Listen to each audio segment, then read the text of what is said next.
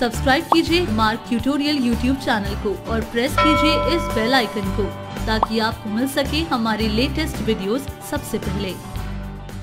Hello friends and welcome to Marg ERP tutorial जिसमें आज हम सेल बिल को मॉडिफाई करना सीखेंगे। सेल बिल को मॉडिफाई करने की नीड इसलिए पड़ती है सपोज़ अगर आप बिल में कोई चेंजेस करना चाहते हैं लाइक पार्टी नेम चेंज करना चाहते हैं या सेल बिल क्रिएट करते टाइम आपसे कोई एंट्री रॉन्ग हो गई है तो आप उसे डिलीट करना चाहते हैं या आप कोई न्यू आइटम बिल में ऐड करना चाहते हैं।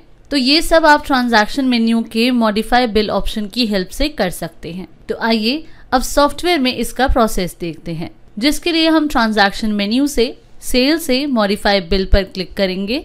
या आप कीबोर्ड से डायरेक्टली ऑल्ट प्लस एम की भी प्रेस कर सकते हैं मॉडिफाई बिल ऑप्शन के लिए। देन मॉडिफाई की ये विंडो ओपन होगी, जिसमें नंबर फ़ील्ड में आप सेल बिल नंबर फ़ीड करेंगे, जिस बिल को आप मॉडिफाई करना चाहते हैं। और इन केस अगर आपको बिल नंबर नहीं पता तो इस फ़ील्ड को स्किप कर देंगे और एंटर प्रेस करेंगे। तो आपका कर्सर इस ड्रॉप डाउन में स्विच करेगा, जहाँ आप सिलेक्ट करेंगे कि जो बिल आप मॉडिफाई करना चाहते हैं, वो आज क्रिएट किया है या कल क्रिएट किया था। लास्ट वर्किंग डेट में क्रिएट किया गया था, इस वीक में क्रिएट किया गया है मीन्स संडे से आज के बीच में।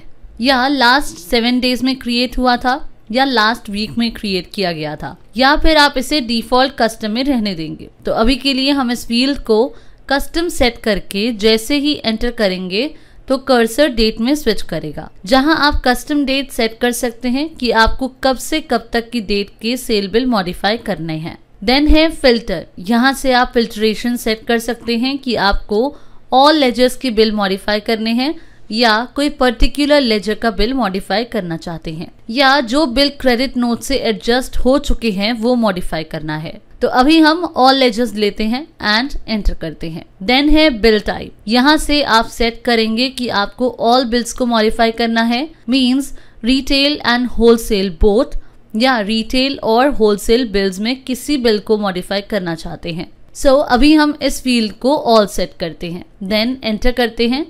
अगेन एंटर करेंगे। तो यहाँ आप देख सकते हैं जो फ़िल्टर आपने लगाए थे उसके अकॉर्डिंग बिल्स यहाँ शो हो रहे हैं। तो अब जिस भी बिल को आप मॉडिफाई करना चाहते हैं उस पर एंटर की प्रेस करेंगे।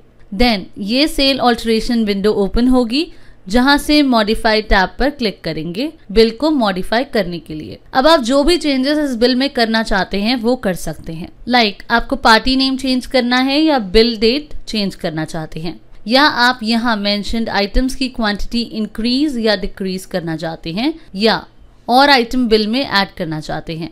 तो ऐड कर सकते हैं। एंड अगर बिल में से कोई आइटम को डिलीट करना चाहते हैं तो सिंपली इस आइटम पर डिलीट की प्रेस करके डिलीट कर सकते हैं। तो सिलेक्टेड आइटम बिल से डिलीट हो जाएगी। इस तरह से आप अपनी रिक्वायरमेंट के अकॉर्डिंग सेल बिल में चेंजेस कर सकते हैं। नाउ मॉडिफिकेशन करने के बाद, अब एंड की प्रेस करते हुए बिल को सेव कर लेंगे। तो आप यहाँ देख सकते हैं old bill amount and new bill amount यहाँ रिफ्लेक्ट हो रहा है। अब चेंजेस को सेव करने के लिए सेव चेंजेस विंडो से यस बटन पर क्लिक करते हैं। अब ये स्मॉल विंडो ओपन होगी। अगर आपको प्रिंट आउट लेना होगा इस मॉडिफाइड सेल बिल का तो पी की प्रेस करेंगे और प्रिंट प्रीव्यू देखना चाहते होंगे तो एफ़ की प्रेस करेंगे।